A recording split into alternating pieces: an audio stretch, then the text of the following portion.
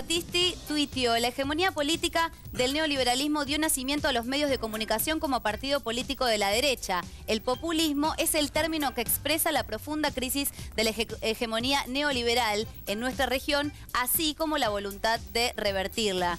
Y continúa Pierre Battisti, dice, los neoliberales advierten el, el, riesgo del populismo para la democracia cuando impusieron su noción de libertad con un genocidio. Hay muchísimos, así que muchísimas gracias a todos los tuiteros hoy en vivo en arroba BDL Víctor Hugo. Estoy muy contento de la participación de estos amigos en el Twitter.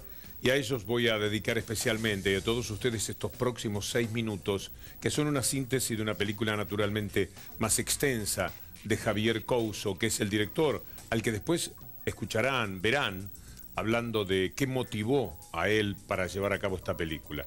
Esto está dedicado especialmente a todos los que han padecido, podemos hablar en plural, las notas que nos llegan a través de los diarios, de las radios, de la persecución constante de esa España que en muchos sectores, no su pueblo, su periodismo, que es el que tiene otros intereses, siempre hay que establecer diferencias. Ese periodismo que sigue creyendo que estamos en 1810, en realidad piensan que estamos en 1809, 1808, que la historia es la misma, y no es la misma.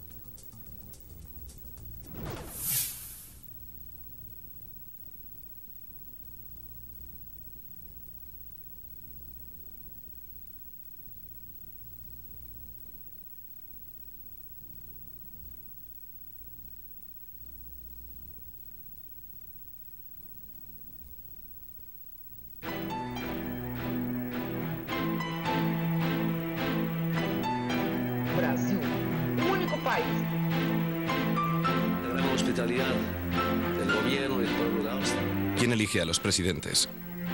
¿La ciudadanía o los medios de comunicación? Alguien dijo que en los Estados Unidos se puede escribir contra el presidente demócrata o contra el presidente republicano, pero nunca se podrá publicar la noticia de que se haya descubierto una mosca en una botella de Coca-Cola.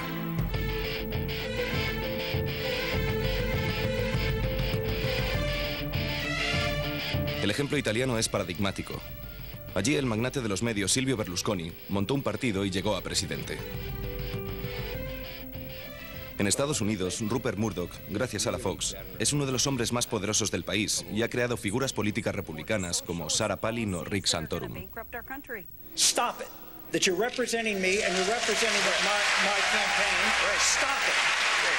¿Quién se atrevería a enseñar la mosca en la botella de Coca-Cola? El gobierno de la República Bolivariana de Venezuela manifiesta su más firme rechazo ante la publicación en la primera página del diario El País de España de una grotesca fotografía falsamente atribuida a nuestro presidente Hugo Chávez. No estoy echando la culpa a ustedes, a los periodistas, repito una vez más, son dirigidos de manera intencionada eh, y políticamente inclusive para que pueden hacer falta el respeto a la verdad o al pueblo boliviano. Muchas reacciones, hay auténticas consignas sobre cómo informar sobre determinados países eh, de América Latina. Yo esto lo he vivido dentro de una redacción de un medio de comunicación, en el grupo Prisa, cuando trabajaba allí. Eh, por ejemplo, en 2002, cuando se produjo un intento de golpe de Estado contra el gobierno de Hugo Chávez, por aquel entonces, que el diario El País, al día siguiente, eh, publicó un editorial que creo recordar se titulaba Golpe al caudillo, donde Mm, justificaba ese golpe de Estado, en todas las redacciones de los medios de comunicación de prisa, evidentemente hubo una serie de consignas. Creo que el sistema tiene muy claro que necesita presentar a Chávez, a Evo Morales, a Correa como, como enemigos del pueblo y enemigos de la humanidad, porque si la gente los conoce como lo que realmente son o han sido, es decir, referentes que están, que están devolviendo al pueblo la posibilidad de, de regir sus propios destinos, la gente empieza a decir, ah, donde el emperador está desnudo es aquí, es en mi país, es en esta Europa caduca que solamente se sostiene si no sabemos la verdad. Está claro que a los medios españoles no les gustan mucho los gobiernos populares de América Latina. Y es normal. Al fin y al cabo, no han parado de sacar moscas de las botellas de Coca-Cola. Necesitamos menos caridad y más justicia. En aquella casita que está allá vivió Bolívar recién casado. Esa casita que se ve ahí con dos balcones. Y ahí lo que están en unos negocios. Expropiese. Banco utiliza tu dinero decreto número 660, por el cual se declara de interés público nacional y como objeto prioritario de la República Argentina el logro del autoabastecimiento de hidrocarburos.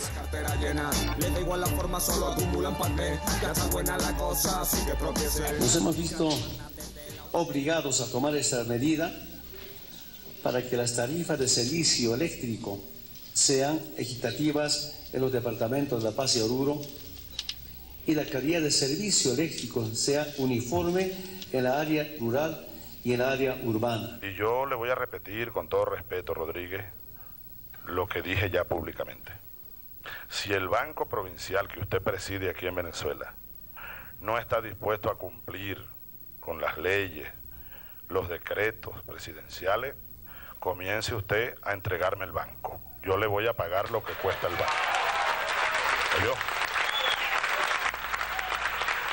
Nos están obligando a creer que los intereses de las multinacionales españolas son nuestros intereses, cuando es precisamente lo contrario. ¿no? Responden solamente a la cuenta de resultados de sus accionistas y que cuando un país decide tomar una decisión en beneficio de su colectivo, bien sea nacionalizando recursos energéticos, nacionalizando un recurso esencial, como hemos visto con Snowden, como son los medios de comunicación. Cuando un país decide tener su propio satélite, lo señalan como un país dictatorial porque está de alguna manera disparando al corazón de su negocio, que es un negocio particular, pero que nos lo presentan como un interés de todos los españoles. Es una burda mentira.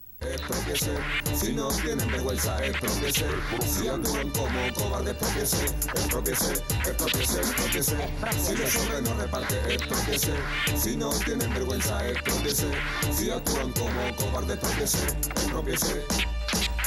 Asociaciones, empresas, fantasmas. Está claro que los gobiernos populares de América Latina han ejercido un mayor control sobre las multinacionales a través de expropiaciones, impuestos y nacionalizaciones. Pero ¿y qué han hecho con los medios? En Bolivia, donde el sector privado controla el 90% de la radiodifusión, se aprobó una ley de telecomunicaciones que entrará en vigor en 2017, que otorgó el 33% del espectro electromagnético al Estado, otro tanto al sector privado, un 17% a organizaciones sociales y otro 17% a organizaciones indígenas.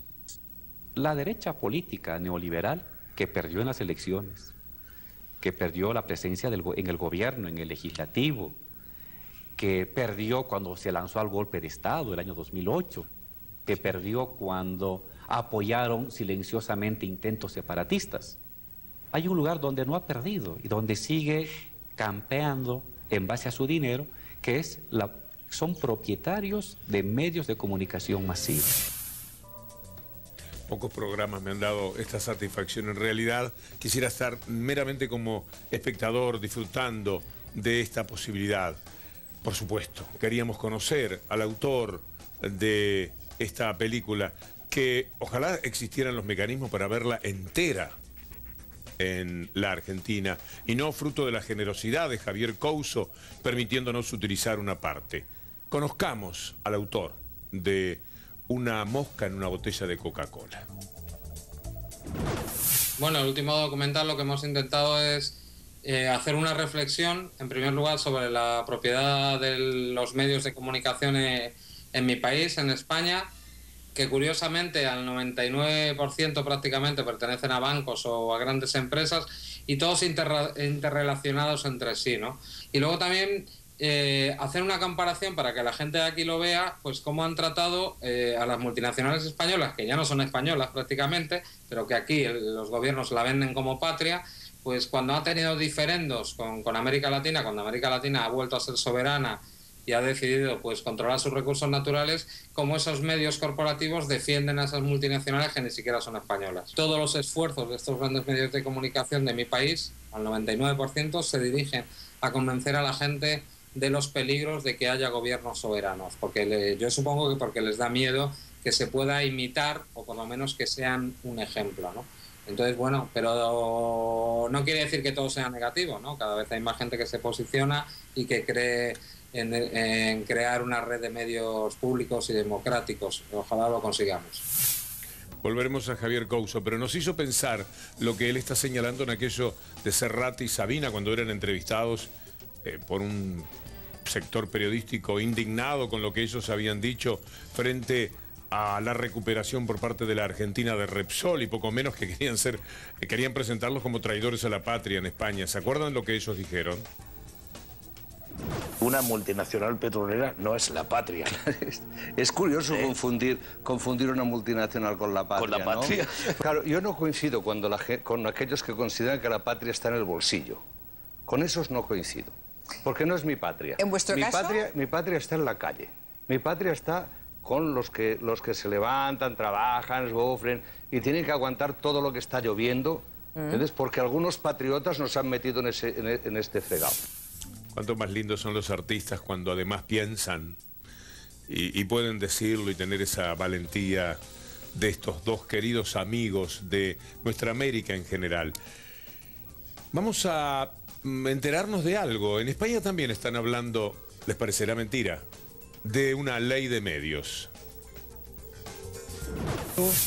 que la Fuerza Armada mantenga en custodia Venezuela, donde los medios privados fueron la vanguardia de la oposición política al gobierno, promoviendo incluso un golpe de Estado, fue uno de los países pioneros al establecer por ley que ni las entidades bancarias y financieras, ni sus accionistas mayoritarios, ni sus representantes podían tener participación accionarial en los medios de comunicación.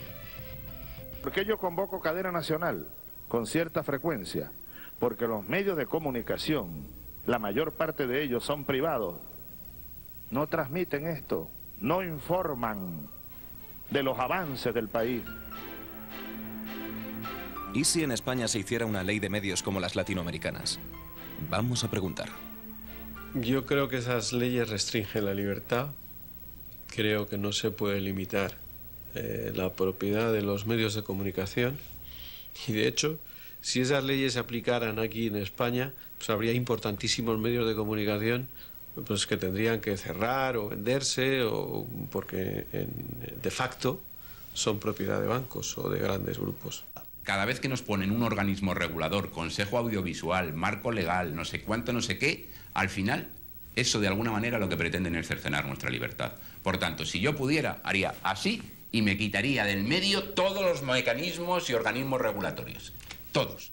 Yo creo que en eso es muy importante a la hora de regular toda la comunicación en España que tengamos una televisión pública fuerte e independiente. Si eso lo tienes, puedes compensar que después las otras empresas estén en manos de multinacionales, de empresas de comunicación, porque te queda un mapa compensado. Como no te queda un mapa compensado es en el peor de los mundos. Ni regula la televisión pública, la vas devaluando, ni te atreves a, a meter mano a las privadas. se necesita regular eh, el, panorama mediático a través de leyes que garanticen la pluralidad, que eviten la concentración y que eviten mm, la entrada masiva de capital extranjero en estos medios de comunicación que podrían verse entonces eh, al servicio completamente de intereses absolutamente ajenos a los de la población española. Lo democrático es que desde los parlamentos nazcan leyes que establezcan que primero la información es una mercancía y el hecho de que haya medios privados de información no implican que tengan derecho, por ejemplo, a eh, tergiversarla.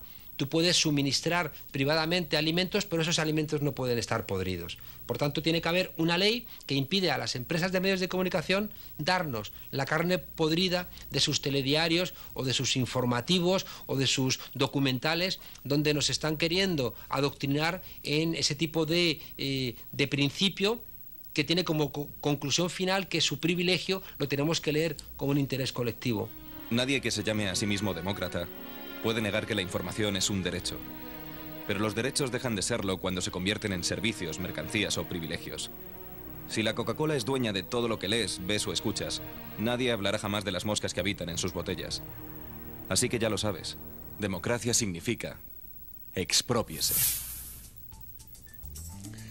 Nada que decir. Julieta, por favor, vamos al Twitter. Claro que sí, Víctor Hugo. Y hay muchos, muchos tweets de nuestros tuiteros hoy en arroba BDL Víctor Hugo. Vamos a empezar con Flavio Rapizardi. Él tuiteó, la derecha comprende la materialidad de lo simbólico desde el momento en que fusiona bancos con industrias culturales. También Pierre Battisti tuiteó, la decadencia europea es una de las últimas trincheras que le quedan a la hegemonía neoliberal en fase de crisis planetaria. La ofensiva desestabilizadora sobre América Latina tiene su eje en el combate